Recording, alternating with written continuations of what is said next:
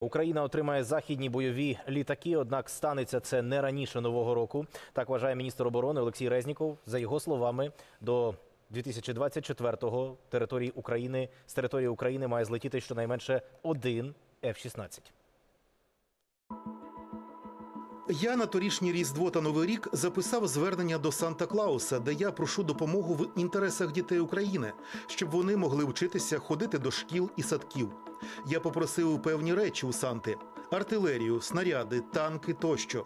У мене там був і маленький літачок, який потім відлітає. Це було моє бажання. Тому було б логічно, щоб хоча б до нового року перший F-16 таки злетів. Олексій Резніков, міністр оборони України. Про це не тільки будемо говорити з Павлом Нарожним. Це військовий експерт. Е, Павле, вітаємо вас. Доброго дня.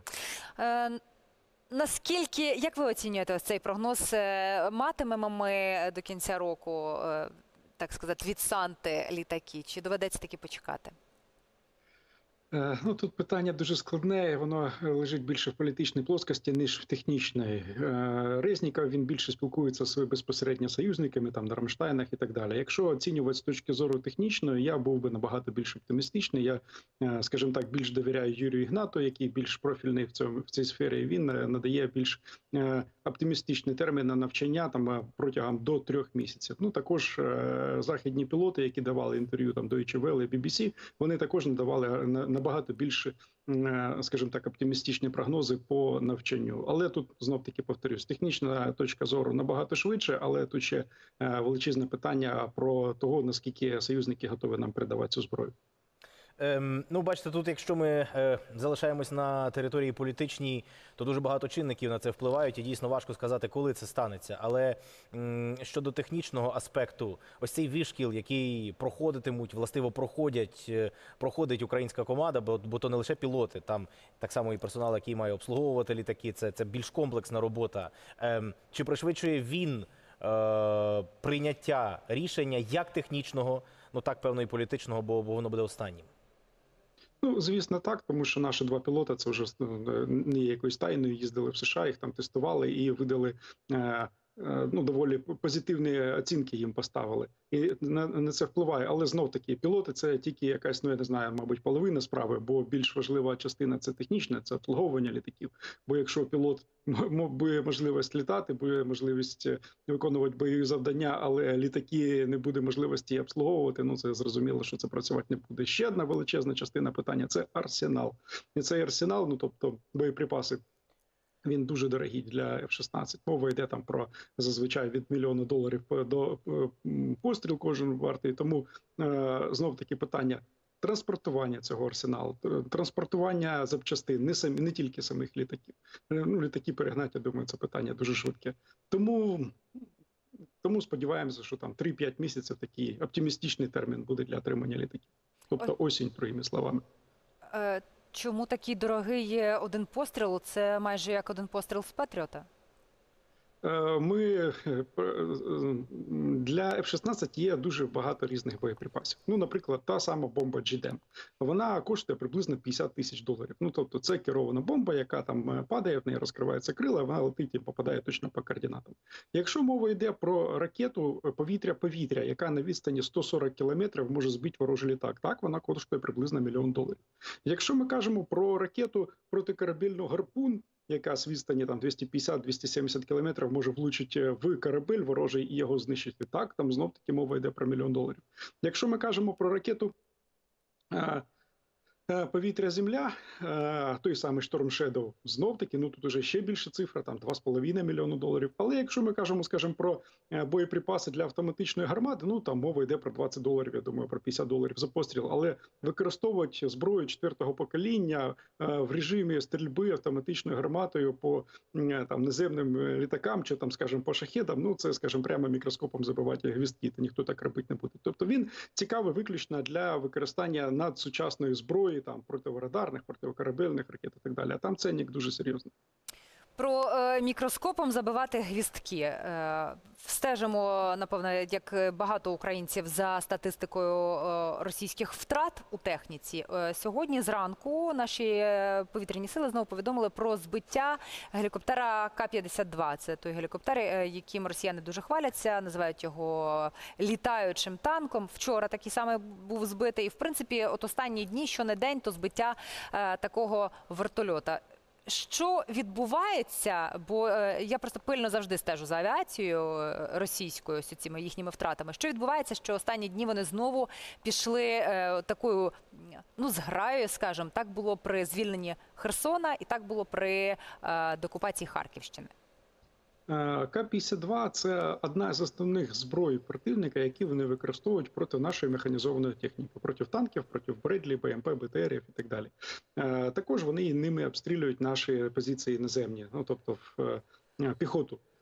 Про що це нам свідчить? Це свідчить про те, що десь на якихось ділянках ми ж не знаємо, де цей К-52 був збитий. Він був використаний ну з великою ймовірністю проти наших наступаючих сил, і він був збитий. Знов таки, це моє припущення. Якісь технічних е, проблем для збиття такого вертольота, використовуючи ПЗРК, яку може переносити один солдат, або використовуючи якусь там більш-менш сучасну систему е, ППО, немає. Ну тобто, це не є якась чудо зброя. В неї всі чудеса вони е, лежать в плоскості того, що це там єдиний вертольот, ну в лапках в світі, в якого можна там катапультуватися можуть пілоти, які там нібито броньовані, нібито захищені, але в реальності його збивають величезних кількостях. Щодо російської авіації, наскільки вона зараз дошкуляє е, Україні, українському війську, ми чули ось ці е, донесення, цю інформацію від е, британської розвідки про те, що на запорізькому напрямку складно з наступом, саме тому, що в околицях Бердянська є військове литовище, і звідти росіяни власне е, запускають, використовують авіацію. Е, ось цей чинник, чи він зараз е, дійсно відчутний? Так, він відчутний. Е, Вони використовують дві техніки. Перше це кабрування. Кабрування це коли літак ну, він на швидкості підходить до лінії зіткнення, набирає висоту, стріляє некерованими ракетами. І ці ракети використовуються ну, в режимі такого града. Тобто точність невеличка, але кількість е, велика. Е, Вони дуже дешеві. Ці боєприпаси і закидують цими боєприпасами наші, нашу піхоту в першу чергу. Друге, що вони використовують, вони використовують каби. Це керовані авіаційні бомби. Вони розробили аналог боїнговського джедама. Е, Смисл простий такий: на бомбу не керовану ставиться спеціальна головка управління, ставиться розкладні крила, літак її скинує, і ця бомба планує. І відстань суто теоретична до 70 кілометрів, коли вона може впасти, і точність в неї доволі велика. Тобто вона може влучити в коло там метрів 10 з ймовірністю відсотків 90. Ну тобто, це для некерованої ну для бомби це величезна точність. Е, бомби великої ваги, 500 кілограм вони можуть бути і так далі. І це величезна проблема. От на Рамштайні піднімалося питання, два питання основних, які про які більше всього на слуху були це засоби ППО. Е, Тобто нас їх недостатньо, особливо на лінії фронту. Ворог що робить? Ворог стріляє. У нас сьогодні знов обстрілювали Київ, обстрілювали Львів і так далі. Тобто, що вони роблять? Ну, е, Успіх цих атак він дуже малий. Ну тобто, реальності збивається все більше 90% нашої е, повітряні сили збивають. Але це робиться для того, щоб ми не могли засоби ППО пересунути на фронт і е, зупинити ці нескінченні атаки літаками. Тобто, фактично, вони зараз авіацію використовують замість артилерії, яку теж е, останні дні ЗСУ дуже активно вибивають. Ось е, тільки завчора знищено 23 артилерійські системи. Ну не замість артилерії, а разом з артилерією, скажімо так. Артилерія вона робить десь приблизно 70-80%. Ворожа артилерія робить вогневого ураження. Наша робить до 90% всього вогневого ураження. Е, так, це величезна подмога для артилерії. Ну з точки зору нанесення ураження ворогу. Ем, Щодо інтенсивності е, бойових дій, чи можна їх порівнювати, коли ми говоримо про різні напрямки? Ну, знаємо, принаймні з офіційних джерел, що е, є активність на Запорізькому напрямку, в Запорізькій, тобто області, та і так само е, в Донецькій області. Чим відрізняються зараз цих дві ділянки фронту?